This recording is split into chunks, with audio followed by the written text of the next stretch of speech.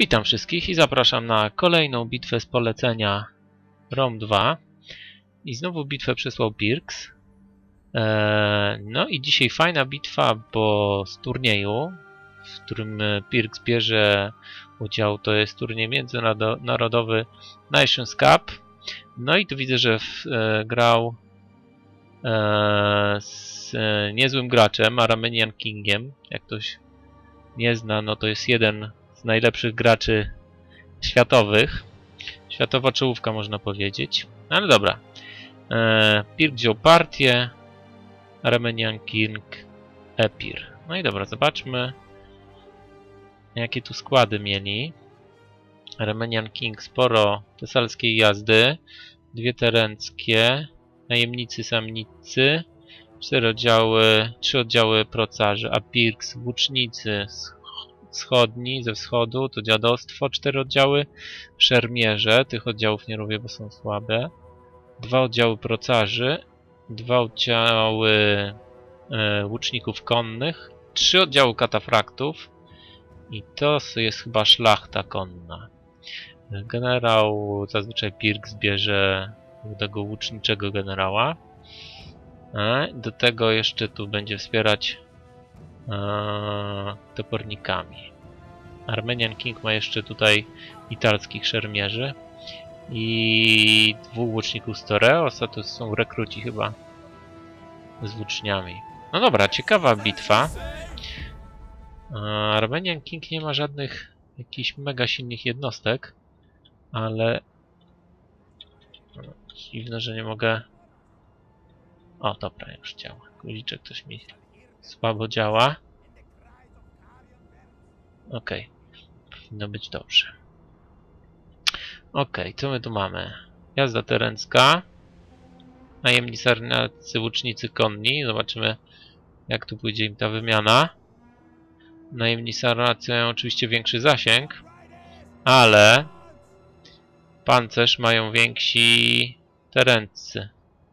Tak. Więc jak e, ci dostaną salwę od terenckich, to będzie słabo. Równocześnie na dwóch flankach się tak przeganiają. Wydaje mi się, że w walce wręcz też terencka by wygrała. 18 walka zwarciu. Tu? 9, tak. Dostaliby wpierdziel mocno sarmatcy łucznicy.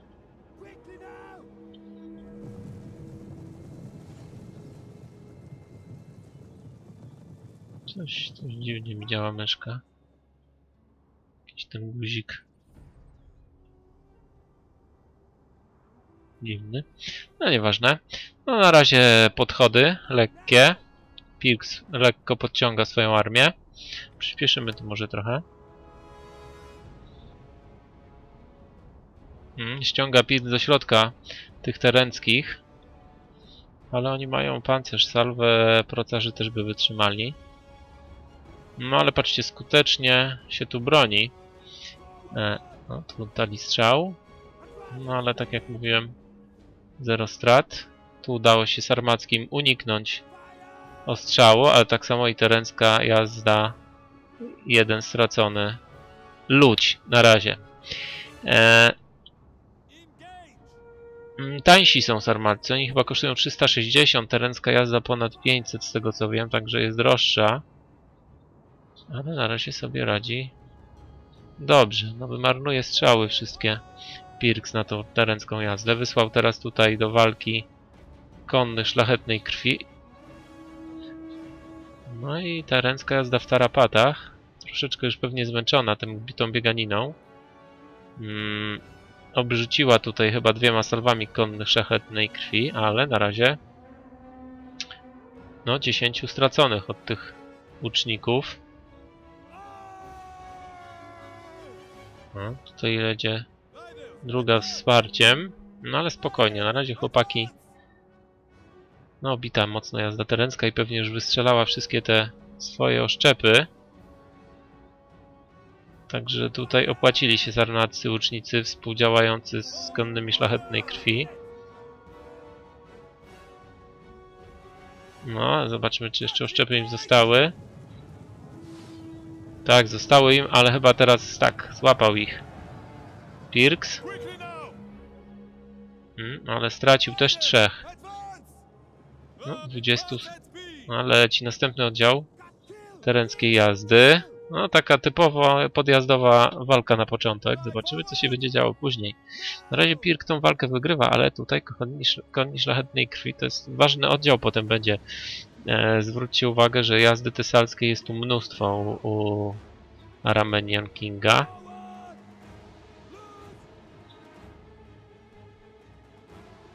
Na razie tutaj dużo nie zdziałał. 10 konnych szlachetnej krwi ubił. Ktoś mi tu dzwoni. Mam nadzieję, że zaraz przestanie. Ale pewnie tego nie słyszycie.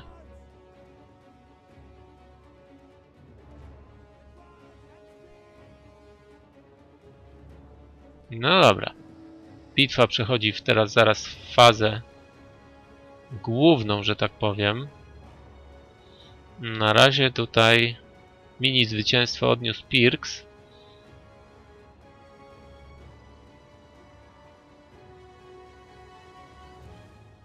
No ale powiem wam, że 10 konnych szlachetnej krwi wymienić na 20 jazdy terenckiej i to no to nie wiem. Wydaje mi się, że wolałbym chyba stracić 20 jazdy terenckiej niż 10 konny szlachetnej krwi. Dobra. Troszkę przewinę. No i teraz zobaczymy, jak będzie dalej faza, następna faza bitwy. Tym razem będzie miał przewagę w ostrzale e, Aramenian King, ponieważ ma trzy jednostki strzelające, a Pirks tylko dwie. Ale wydaje mi się, że tu szybko dojdzie do walki w zwarciu. Nie będą chłopaki się najpierw pieścić tutaj tymi kamieniami. Tylko zaraz tutaj Pirks.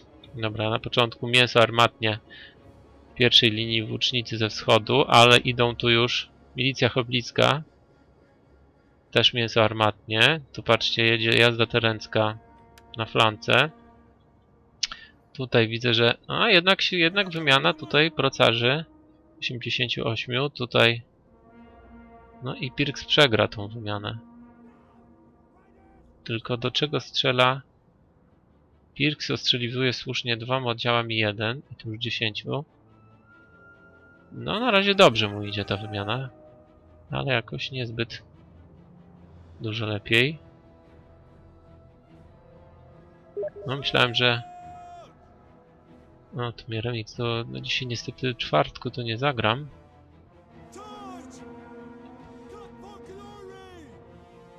No.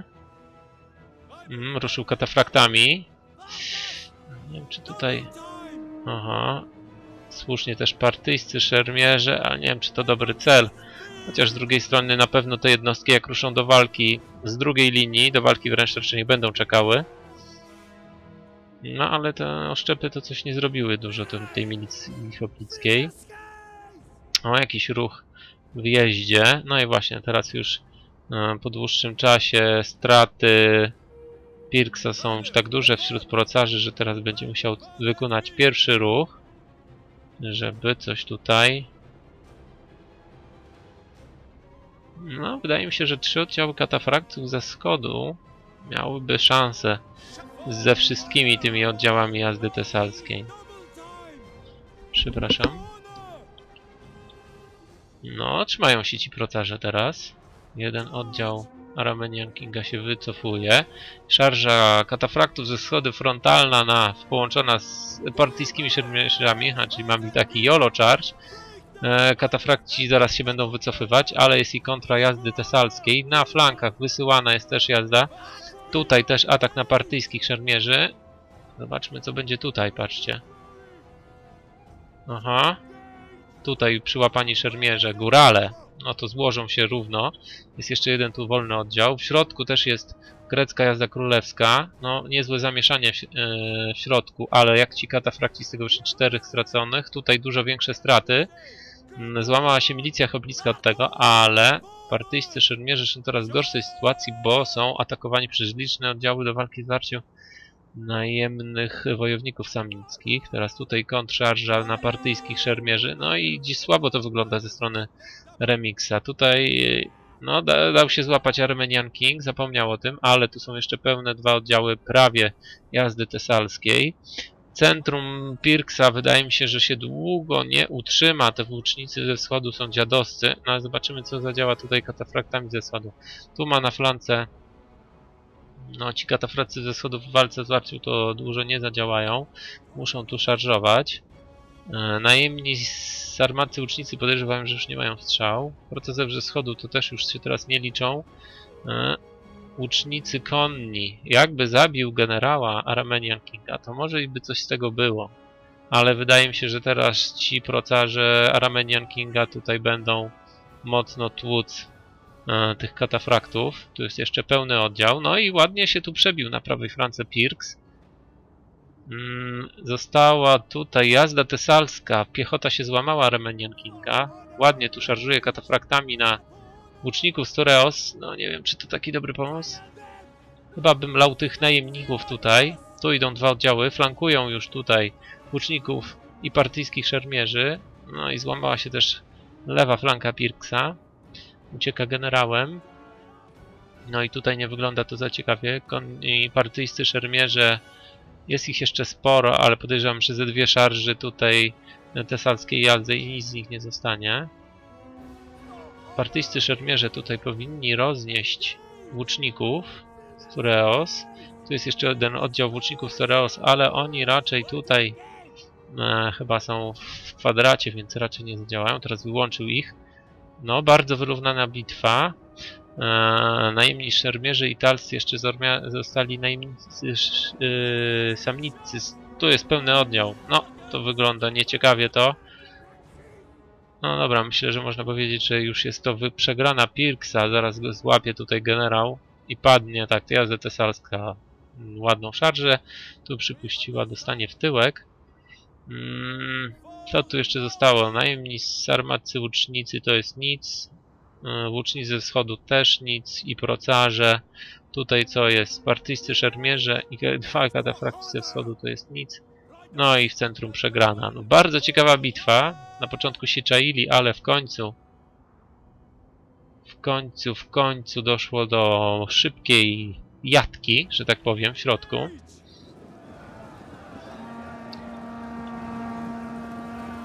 No, szarża. zagrzewają się do walki. Ach, nie lubię tych bitew na tej, na metocennie, bo kurczę, brzydka ta mapa jest jak nie wiem co. No, jeszcze tutaj sporo sił zostało e, Pirksowi. Konni szlachetnej krwi, łucznicy Storeos, jest ich jeszcze tutaj sporo. Ciężko im będzie takie oddziały rozbić. No ale najgorsza siła jeszcze tutaj zostało. Patrzcie ile wojowników samnickich. Trzy oddziały. Dwa prawie pełne sporo pozabijały, no więc ten Jolo Charge katafraktami niezbyt się udał. Mi się wydaje, że jednak katafrakci do tego są niezbyt dobrzy.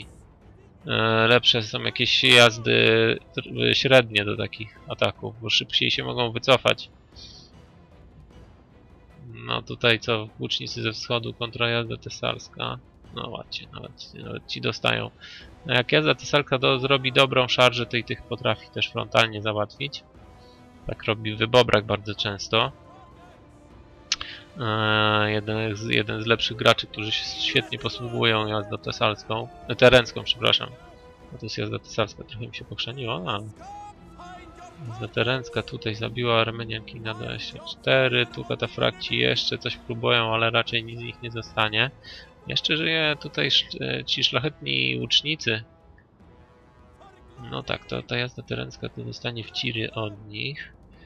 Tu niestety partyjscy szermierze. Tu jest jeden oddział zmęczony. Ci partyjscy szermierze jeszcze się trzymają.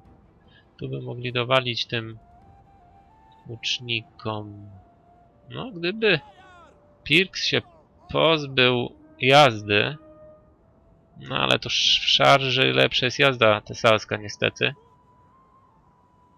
No i za mało jest tych procarzy, żeby tutaj wyciąć ty, taką dużą ilość jeszcze tych najemnych e, samnickich wojowników.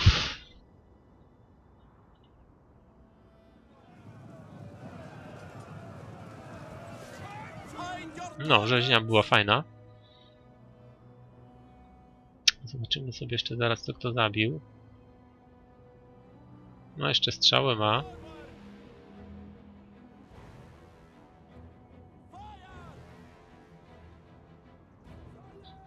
No i już teraz Armenian King bez jazdy. No i stracił też Armenian King. O dziwo. Yy, jazdę, w sensie generała. No ale za, gdyby miał więcej oddziałów strzelających Pirksy, myślę, że mógłby coś tutaj jeszcze podziałać, wyizolowywać jednostki, potem je... No, to jeszcze jest jeden oddział jazdy. No i tym procarzom na pewno już dużo amunicji nie zostało.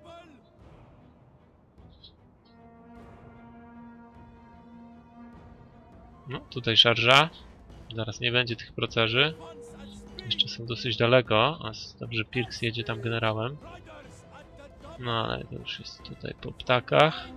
O, i tu jeszcze mieli oszczepy. Ładnie do... Obrzucili generała Pirksa.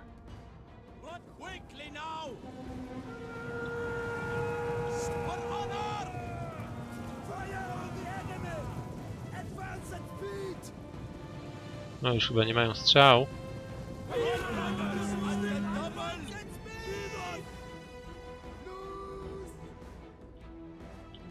No, jeszcze się utrzymali ci procarze. Wycięli tą jazdę. To uciekają. A chyba by lepiej w tych było strzelać. W plery im.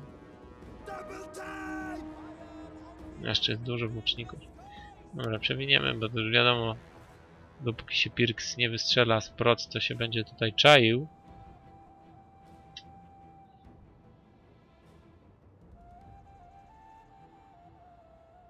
Ja powiem wam, że zupełnie inaczej tutaj y, pod koniec bitwy w takich sytuacjach mocno rozciągam jednostki i idę taką tyralierą jednoliniową spychając e, takie strzelające jednostki na drugą stronę mapy e, i wtedy też jest mniejszy, mniejsze obrażenia do strzału, bo są rozproszone bardziej jednostki. Tak w takich kupach idzie.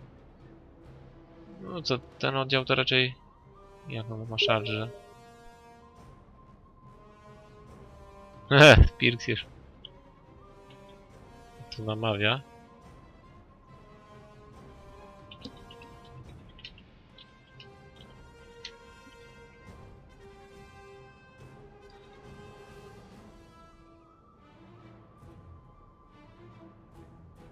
Mm, jeszcze łuczników za no, no, no, nieźle. Może? no nie, podejrzewam, że proces. O, proszę, no, gen, kurde, jednak generał ma znaczenie w tej sytuacji. Zmęczone oddziały. No, bez sensu to robić Armenian King, moim zdaniem. Powinien się tu, kurczę, bardziej rozciągać. Ten oddział jaką ma szarżę? Gdzie tu jest? Premia z szarży 22, no coś tu ma. Walka z warczy 43. No, coś ten oddział jeszcze może powalczyć, ale... No, no. Nie, to chyba nie był dobry pomysł. No, straci generała. Pirks. Albo on chciał... Chwalebna porażka. A, bo zwiały mu te dwa oddziały, a ten, no tak. Okay, generałem 148, katafraktami. Hmm. No nieźle, ale za taką cenę, nie wiem, tam 1200 to chyba powinien około 200 na Ten Joloczar był dobrym pomysłem, ale wydaje mi się, że że nawet większa ilość tej konnych szlachetnych czyli byłaby lepsza. No nie wiem. Mm, z armaty nieźle. Procerzami się ładnie nastrzelał. Udało mu się utrzymać jednostki do końca. Portyjscy szermierzy po tych oddziałach to się nie spodziewam wiele.